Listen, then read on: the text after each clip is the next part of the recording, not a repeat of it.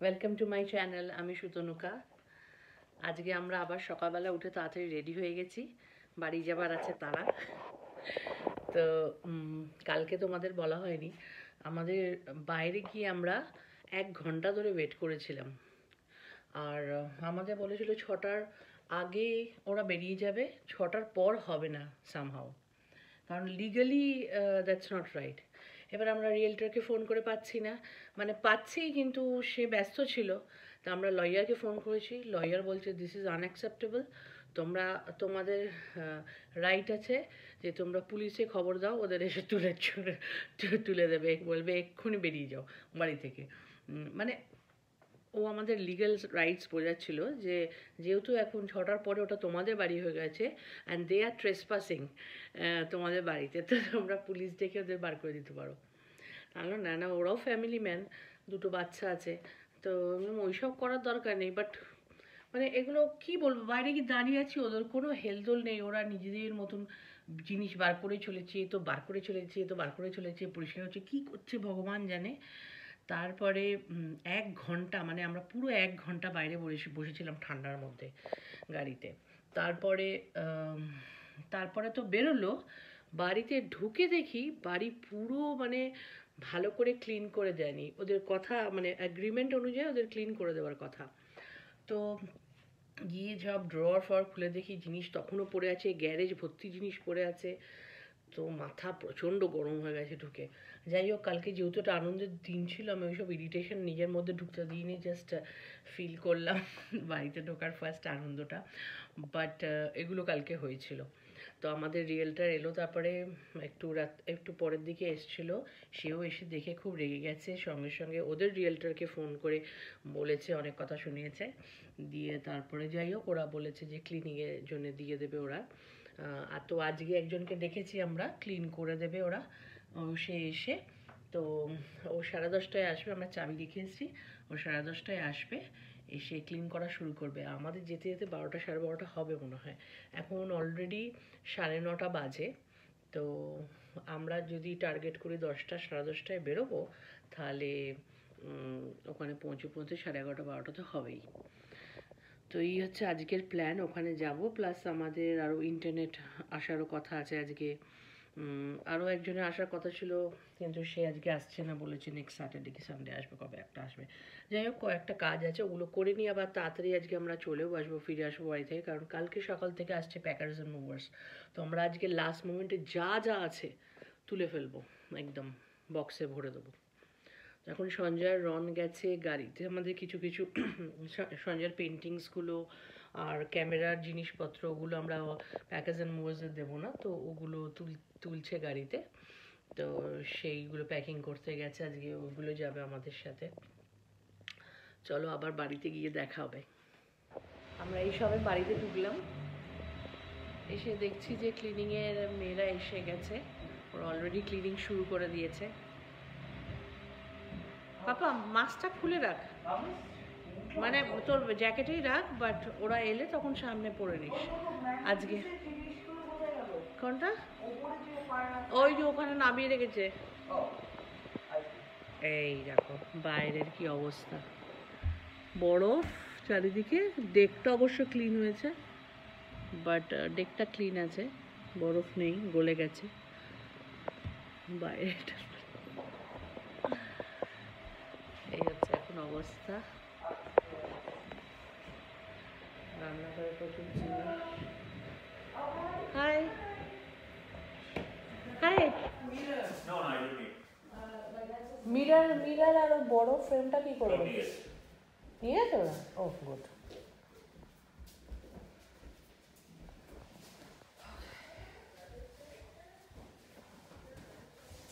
There's a garbage up here.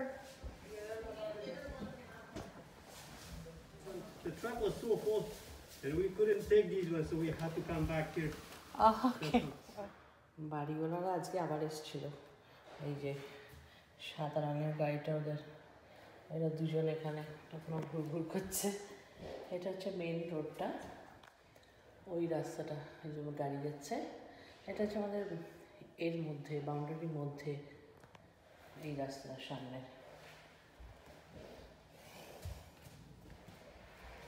আর এই দেখো, আমাদের গাড়িটা পেছনে দাঁড়িয়েছে, কি অবস্থা? বাজে, সাদা হয়ে গেছে গাড়িটা। স্নো আর ময়লাতে। কি ভালো লাগছে ক্লিন করে দিয়েছে উপর উপরতলাটা ক্লিন হয়ে গেছে। নিট অ্যান্ড ক্লিন এক তো ঘরটা ফাঁকা, তার মধ্যে পরিষ্কার, দেখেও আরাম হচ্ছে। কালকে এসে যেন পায়ে কিচকিচ কিচকিচ করছে, নোংরা ধুলো। এটা অবশ্য কালকে যখন প্যাকার্সরা আসবে তখন আবার হবে বিকজ ওই বক্সেসগুলো নিয়ে আসবে। তো সেটা আমরা ভ্যাকিউম করে আর নিজেরাই মপ করে ক্লিন করে নিতে পারব। বাট কালকে এসে যা বাড়ির অবস্থা দেখেছিলাম, তার থেকে তো অনেক শান্তি লাগছে আজকে। যে হ্যাঁ নতুন বাড়িতে ঢুকবো, একটা বেশ আনন্দের জিনিস নিয়ে আসব। এই জানলাটা কি ভালো লাগছে আমার দেখো।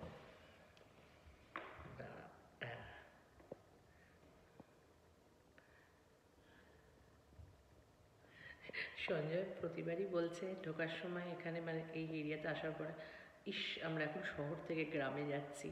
এটা গ্রাম মনে হচ্ছে। অ্যাকচুয়ালি বলাই যেতে পারে গ্রাম। কারণ আমরা যেখানে থাকতাম সেখানের তুলনায় তো এটা গ্রামই বটে। আর ফাঁকা ফাঁকা সব। তবে আমরা যেখানেই রেসিডেন্সিয়াল এরিয়া ছিল মানে যেখানে আমরা বাড়ি কিনতাম, সেখানে এরকমই হতো, ফাঁকাই হতো। রেসিডেন্সিয়াল এরিয়ায় বেশি জমজমাট থাকে না, যেরকম আমাদের অ্যাপার্টমেন্টের ওখানে ছিল। এটা একেবারে পশ এলাকা, একেবারে মানে যত দোকান, মল, তারপরে মানে হ্যাপেনিং জায়গা একদম। আর কন্ডোজ সব বড় বড় বিল্ডিং হাই রাইজ আর এখানে যেখানে বাড়ি আছে, সেখানে সব এরিয়াই এরকম ফাঁকা ফাঁকা। কিন্তু আমার তো বেশ ভালোই লাগছে। আমার খুব আনন্দ হচ্ছে অ্যাকচুয়ালি নিজের বাড়িতে থাকার মজাই আলাদা। অনেক বছর পরে আবার আমরা বাড়িতে এলাম। মানে আমার বাড়ি বা সঞ্জয়ের বাড়ি দুজনেরই বাড়ি, ফ্ল্যাট নয়। তো সেই থাকা ছিল। তারপরে তো জবে থেকে কলকাতা ছেড়েছি। তারপরে আর বাড়িতে থাকা হয়নি। আজকে আবার বাড়িতে ফিরবো। আচ্ছা ওই দিকে দেখো। দাঁড়াও, ক্যামেরা টার্ন করে দেখাই। ওই যে দেখছ এইগুলো এগুলো হচ্ছে আমাদের পোস্ট বক্স ওখানে আমাদের পোস্ট আসবে যত রকম। আগে যেটা অ্যাপার্টমেন্টের নিচেই থাকতো, সেটা এখন ওইখানে দূরে, আমি একটু জুম করে দেখাই। এই যে এটা এখানে আমাকে পোস্ট বক্সের চাবি টাবি দিয়ে গেল, বাড়ির যে আগে সেলার ছিল। এতে বসে ওয়েট করছি ক্লিনিং শেষ হয়ে গেলে। খেতে যাব, খিদে পেয়েছে। কেন কি হাসি খাবার কথা শুনে তাই না? তুই আমার মাস্ক পরে বসে আছিস? হ্যাঁ উচিত কেন? আমি ওর থেকে দশ ফুট দূরে আছি। আমার বাড়ির সিঁড়িতে বসে আমি। বলছি আমার বাড়ির সিঁড়িতে বসে আমি। আমি প্রতিদিন আসছি না আমার আর ফেরত যেতে ইচ্ছেই করছে না ওই বাড়িতে। ওই বাড়িটা পুরো বেস্ট এখন। না ফিরে যেতে বলছি। ফিরে যাবার ইচ্ছে নেই আমার ওই বাড়িতে। movers মনে হচ্ছে এখানেই থেকে যাই।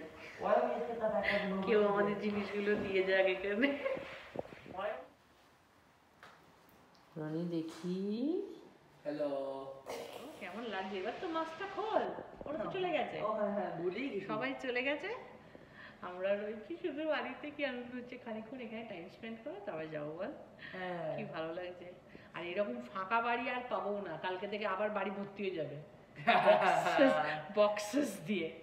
এরকম ফাঁকা বাড়িতে একটু একটু এনজয় করে নি তারপরে আবার বক্স টক্স নিয়ে গোলাপ রং করা। রং করা is most important. You don't have to do that. Most important না? Because I don't like the তুই কোথা. থেকে টুপিটা নিয়ে পড়লি রে It was in the car. I know খুঁজে পেলি মাটিতে পড়ে no, no, no, so far, seated Chico. সিটে ছিল I had it with me this whole time in your office.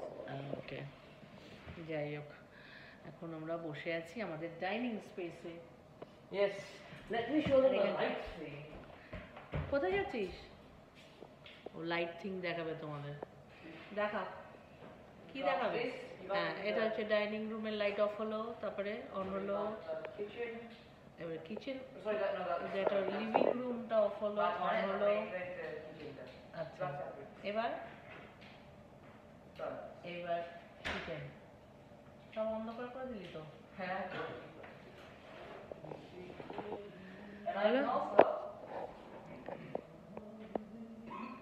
ও এটাকে আবার ডিমও করা যায় না লাইটগুলোকে হ্যাঁ করা যায় তো। এই তো ডিম হচ্ছে ডাইনিং ডাইনিং স্পেসটা লাইটগুলোকে ডিম করা যায় জোর করা যায়। ঠিক আছে তুলছে তো। কেন লাগবে? তুলে তলা একটা হাত দে রানি। তলা একটা হাত দে তুলে দে। আরও তোল আরও তোল। গুড এটা হচ্ছে আমাদের গ্যারাজ এইসব কি রেখে দিয়েছে এগুলো? At এইটা হচ্ছে পেছনে ব্যাকইয়ার্ড থেকে দরজাটা। অনেক শেলফ টেলফ করা আছে দেখছি. অনেকটা স্পেস আছে হ্যাঁ। গাড়িটা ঢুকেও আবার এই জায়গাটা অনেকটা আছে। আর ফায়ার এক্সটিংগুইশার এটা? আচ্ছা। এইখানে অনেকটাই জায়গা এখানে একটা ঘড়িও ফেলে গেছে। এইখানটা আমাদের কেটে দরজা করে দেওয়া যায় একটা।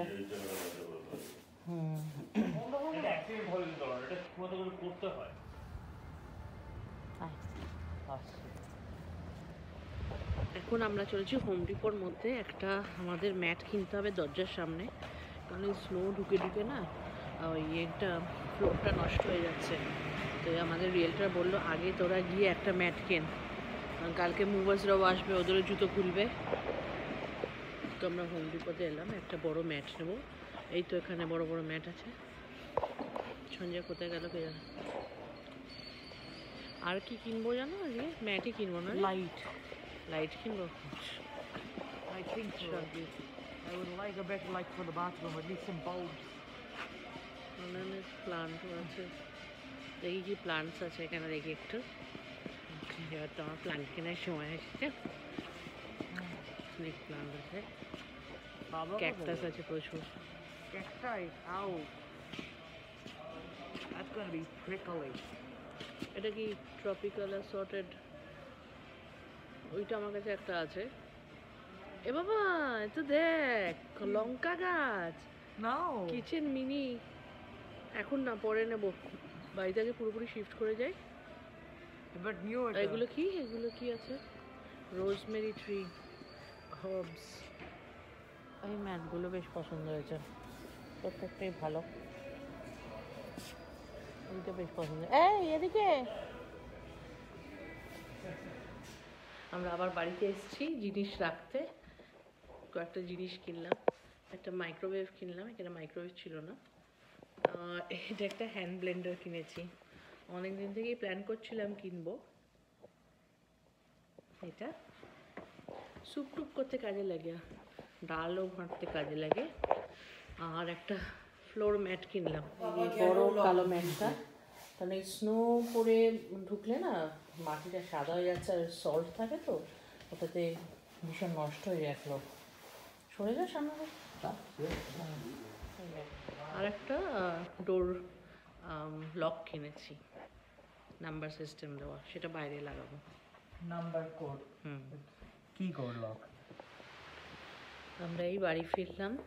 একটুখানি স্যুপ তুলে এনেছি। প্রচণ্ড টায়ার্ড এখন কটা বাজে, ছটা বোধহয় বাজে। যাই হোক এখনও আমাদের লাস্ট মোমেন্ট প্যাকিং বাকি আছে। কালকে ভোরবেলা হলেই ওরা চলে আসবে। মানে সাড়ে আটটার মধ্যে ঢুকে যাবে প্যাকার্স আর মোভার্স তো আজকে আমি আমার ব্লগটা এখানেই শেষ করছি। আর ভালো লাগলে থামস আপ দিয়ে দিও। আর আমাকে কমেন্ট করে জানিও কেমন লাগল। Bye bye